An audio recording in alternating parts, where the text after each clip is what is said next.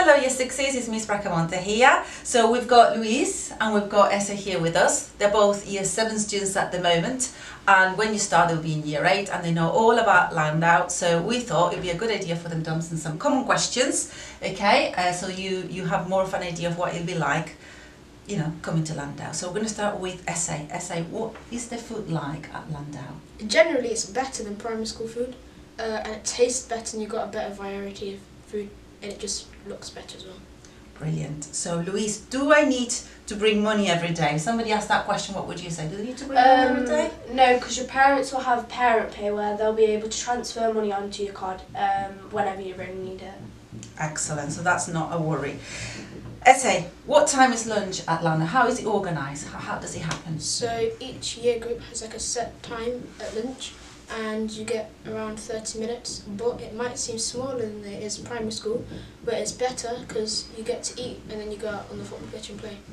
Brilliant. Louise, what happens if a student gets lost in the building? Um, that's that's completely fine. There's maps all around the school, so you'll know where you're going. And the school is in a square, so you'll be able to get around. And there's also teachers around who will tell you where you need to go. Absolutely. Yes. Louise, another question for you. What time should you get to school in the morning? You should be here about eight twenty, but the, the times are being changed, so you should be here at eight twenty and be in school for uh, eight thirty. Yeah, 8.30 start. Fantastic. Now, can I carry my things around like books and PE bags? Essa?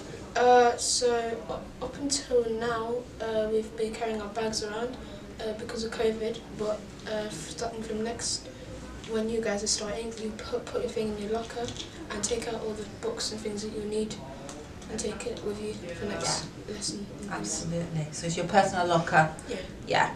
Louise, do you get lots of homework? No, you don't get a ton of homework, but you do get homework because you need the extra education. Absolutely. Are you like your phone at school? No, but there is a pocket in your blazer where you can put your phone in, and you do not use it in school, otherwise it will be confiscated. Absolutely, because it's a distraction, isn't it?